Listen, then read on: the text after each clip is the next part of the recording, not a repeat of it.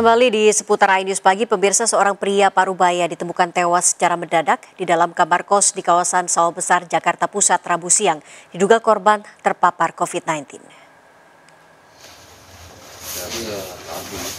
Dengan menggunakan alat pelindung diri lengkap, sejumlah petugas medis dari Pusat Kesehatan Masyarakat memeriksa jasad pria yang ditemukan tewas di dalam kamar kosnya di Jalan Kartini 6, Sawah Besar, Jakarta Pusat pada Rabu siang. Korban diketahui tewas secara mendadak dan diduga terpapar COVID-19.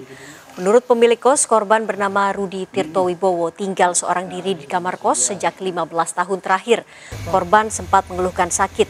Jasad korban dibawa ke Rumah Sakit Cipto Mangunkusumo, Jakarta Pusat untuk diotopsi.